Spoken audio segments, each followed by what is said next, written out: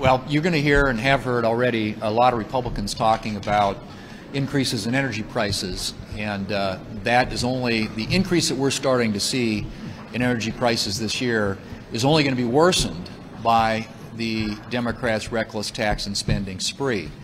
Um, the president wants a deal on some so-called Green New Deal before he goes to Glasgow, Scotland, and um, I think the only thing the American people are worried about is not what's happening in Glasgow, but what's happening to gas prices.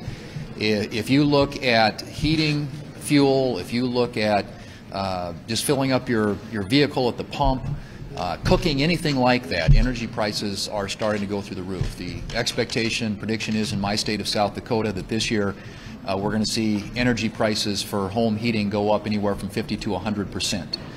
And so the president's uh, obsession and preoccupation with uh, going and schmoozing with people in Glasgow, Scotland uh, to talk about Green New Deal is, I think, completely lost on the American people who are caring more, a lot more about uh, the prices that they're paying to, to heat their homes.